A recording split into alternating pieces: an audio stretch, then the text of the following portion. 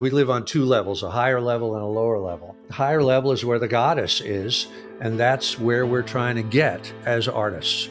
We're trying to get there and then come back and, and deliver the goods. Author Steven Pressfield's books have earned him worldwide acclaim. He's a novelist, a screenwriter, former U.S. Marine. His books have inspired and motivated millions of readers around the world. But his personal story is just as inspiring. When did you discover this idea of muse? I think I was maybe 32 something, and I would go visit a friend of mine down the street, and he introduced this idea to me that when you sit down to write, you're kind of entering a sacred space. You say a prayer to the goddess I'm here to work for you, help me, you know? And over time, my belief and understanding of this has only deepened, and she has never let me down.